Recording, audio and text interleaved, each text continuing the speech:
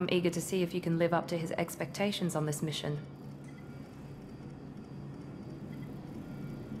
What's the matter, Lawson? Worried you're not his favorite anymore? I've proven my value to the Illusive Man. Let's hope you're able to do the same. Are you naturally this bitchy, or is it just me? I have the utmost respect for your abilities, Shepard. It's your motivations that concern me. I believe in what Cerberus stands for.